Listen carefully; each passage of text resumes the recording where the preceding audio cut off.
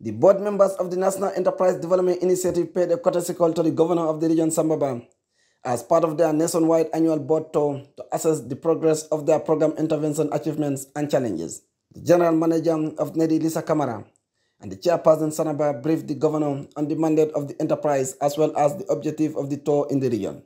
And the annual board tour is uh, set aside to go around the country to look at some of the intervention sites and projects on the ground um, so as uh, to give them first-hand information on what's happening on the ground. NEDI is an SME, is um, a state enterprise under the Ministry of Youth and Sports. And um, that being the case, it's a government institution that supports young people and women across the country. Um, there has been a lot of beneficiaries, especially in URR, um, since the inception of NEDI. So every year, board members will go and see some of those um, beneficiaries, how uh, far or how well are they doing, and we will also take stock of whether all the reports that we are getting at the board room are actually factual, because it helps us in our decision making. Mr. Bass said recently, NEDI has disbursed over $2 million to beneficiaries across the country. We cannot do all these things without um, the support of the government or the governor's office because the governor's office is very key to our operations. With the intervention, the NEDI support is definitely making a difference in the lives of many young people.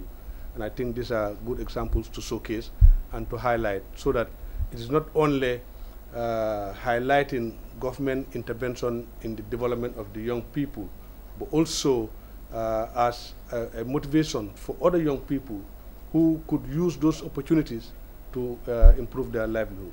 According to NEDI officials, many young people in the region have benefited from the enterprise since its inception, and it has changed their lives and livelihood in many ways.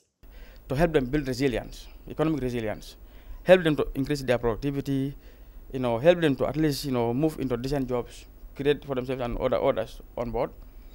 You know, these are important things that NEDI is doing in various forms of intervention through business development services, through trainings, and also equipment supply. As uh, young people, or let's say uh, the committee, is already a big win for us because NEDI is coming down to URR and we are hosting them at the youth center.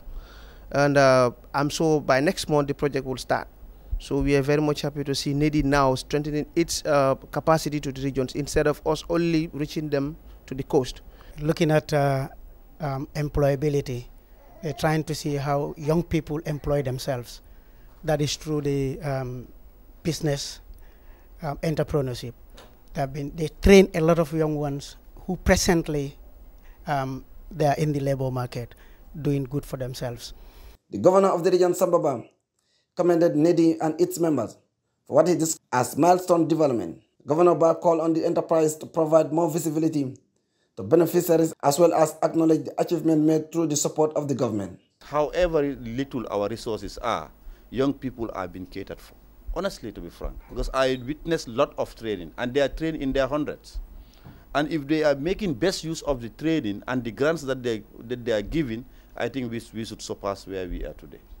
But the only thing that we do is we can sit at our corners and say young people are not catered for. There is nothing that has been done for young people. And I think this is not fair also to government. Because in as much as resources are being spent on young people, it means that it should also come out white, black and white for people to understand that young people are being catered for and something has been done. The National Enterprise Development Initiative is an agency that provides support to young people across the country in various areas such as entrepreneurship, guidance, mentorship, and coaching, as well as help the government to achieve its objective, which are macro indicators by creating employment for people, especially the youth folks. Officials also noted that at the end of the tour, the report will be shared among the relevant authorities in all regions. Saidou Kamara, reporting for GRTS News from Basse Upper River Region.